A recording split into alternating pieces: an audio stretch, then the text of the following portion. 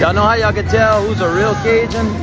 We just use our hands, okay? Just stick that in there and you move it like that. Ay-yi! being here, supporting this event. We are extremely grateful. Um, All right, we're balling crawfish in Jack Bay, Louisiana, so that's exactly what I'm gonna use. Jack Bay,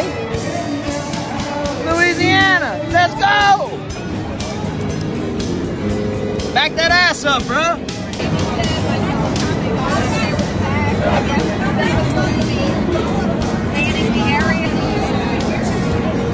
I Just want to get it empty.